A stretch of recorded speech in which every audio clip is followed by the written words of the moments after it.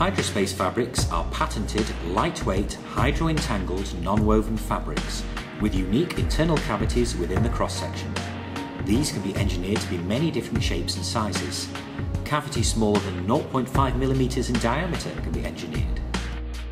Hydrospace fabrics can be manufactured with a wide range of fibre types, fabric weights and cavity spacings.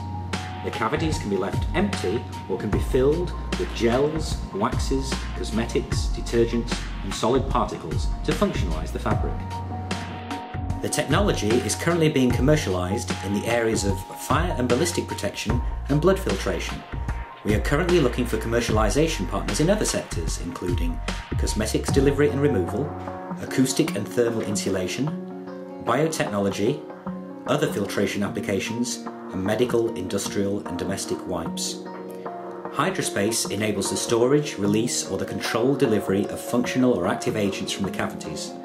Fragile, hydrophilic, and particulate materials can be introduced into the cavities during fabric formation. Adjacent spaces can be filled with different materials, or the same spaces can be filled with dispersions, gels, or combinations of solids and liquids as the fabric is made. Hydrospace is designed to be manufactured by a simple retrofit to existing production lines. The fabrics are produced by hydroentanglement, which uses high pressure water jets to mechanically bond the fibres. The size, spacing and shape of the filling delivery tubes can easily be customised.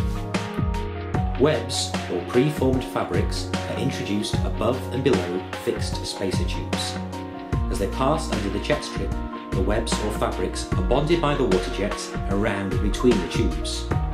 As the formed structure slides continuously from the static tubes, the contents are delivered into the cavities, producing the functionalised hydrospace fabric.